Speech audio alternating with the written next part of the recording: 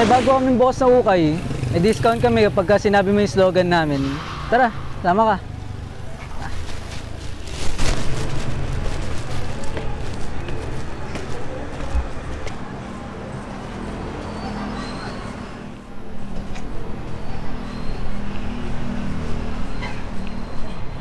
Ah, ito yung bagong bukas. Oo, boss. Ito lang yung sa discount namin.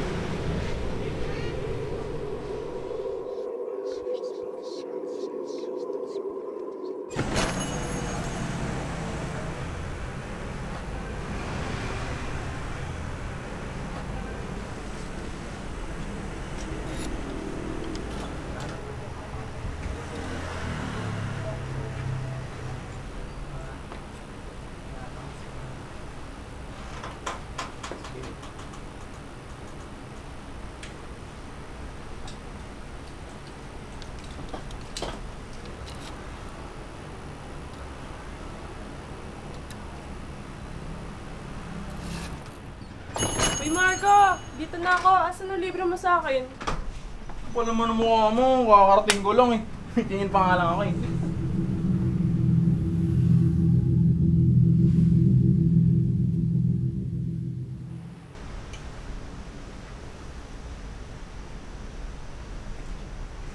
Ano Kams? Puro phone mo lang titignan mo? Hindi ka na ba titingin dito?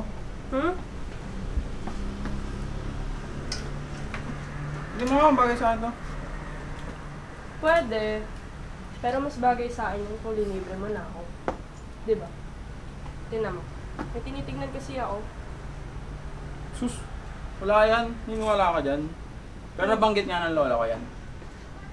Pero ano ba naman gagawin ko dyan eh? Okay.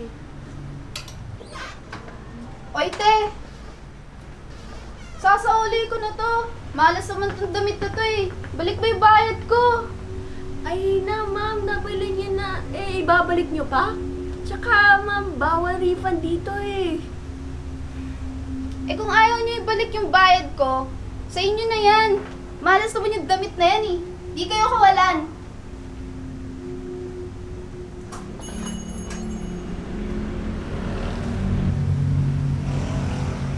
Bakit po?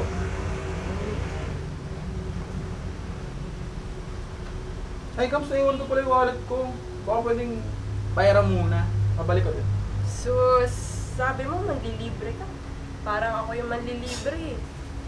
Ah, ba't na lang, may extra ako. Babalik ko din. Sus, sabi ko yun. 300. Sobro ano.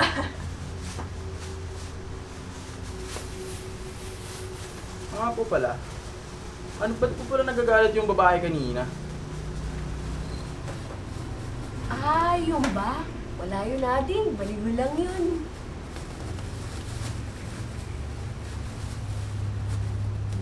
Saka na, gutom na ako.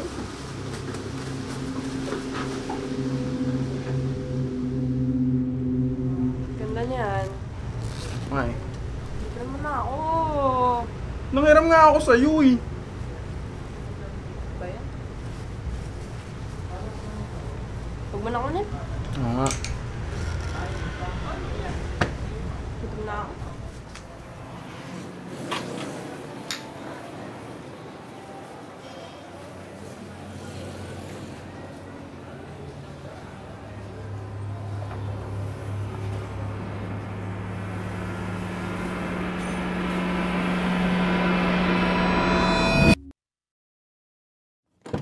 Sir Marco ho? Yes po.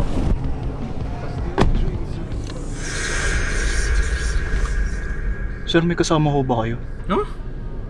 Wala, mag-isa lang ako. Baliwan po.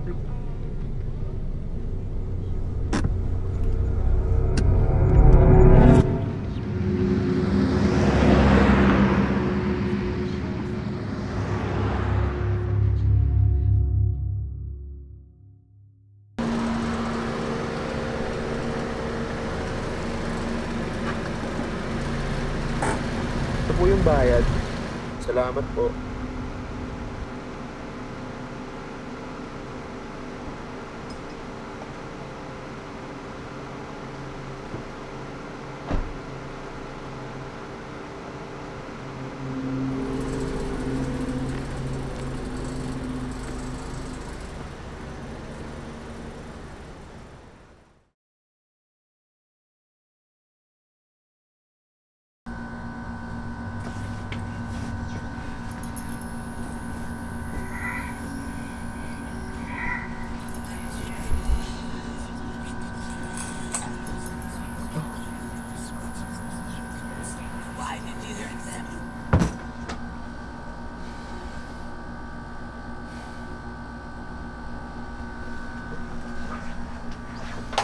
Sam, sumagot ka, please. Sumagot ka.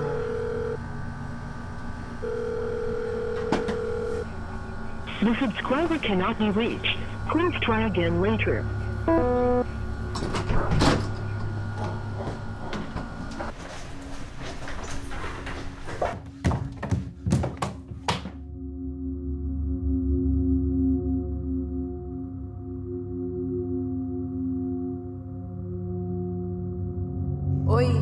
Laban mo muna ng asin yan na bago mo sukatin.